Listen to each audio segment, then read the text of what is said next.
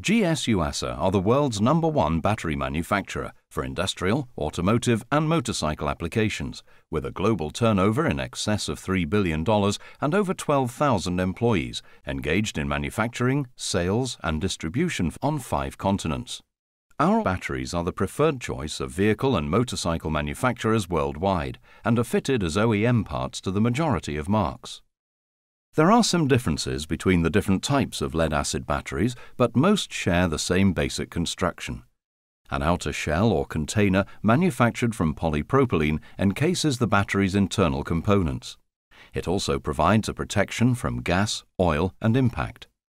A vent or safety valve to relieve any excess pressure inside the battery from the chemical processes taking place inside two terminals, one positive and one negative, that connect to the battery's internal components and provide the pathway for the battery's energy.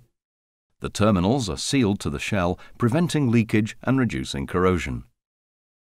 Inside, partitions divide the battery into cells. Each cell produces approximately 2 volts, and the number of cells determines the voltage rating of the battery. So, a 12 volt battery contains 6 cells, while a 6 volt battery has 3.